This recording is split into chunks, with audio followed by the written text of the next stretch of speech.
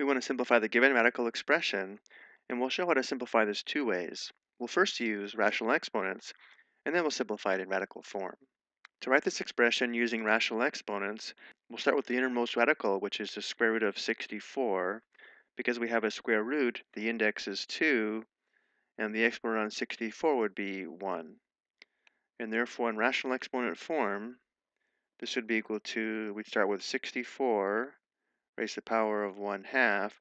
Remember, when going from radical form to rational exponent form, the index gives us the denominator of the rational exponent, and the exponent gives us the numerator of the rational exponent.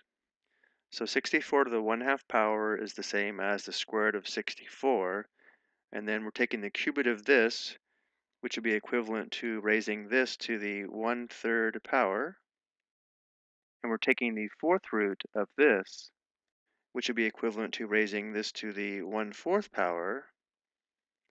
Then all this is raised to the eighth power, so we have all of this raised to the eighth. And now to simplify this, because we have powers to powers, we multiply the exponents, given by this exponent rule here.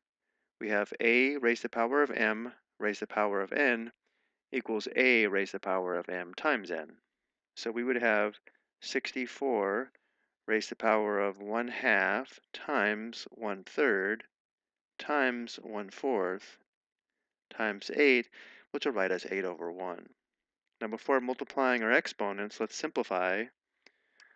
Notice in the denominator we have 2 times 4, which equals 8. We also have an 8 in the numerator, and 8 divided by 8 simplifies to 1. So this simplifies to 64 raised to the power of 1 third. And now to simplify 64 to the 1 third power, we'll write this back in radical form. Notice how the denominator of the rational exponent is 3, so we have a cube root. And we have 64 raised to the first power, so we can leave off the exponent.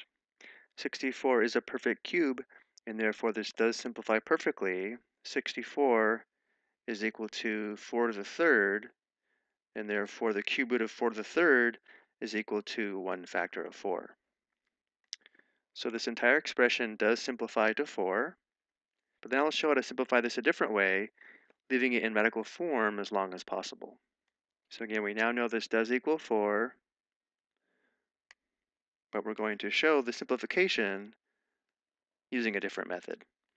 So if we simplify this by starting with the innermost radical, which is the square root of 64, because 64 is a perfect square, this simplifies perfectly.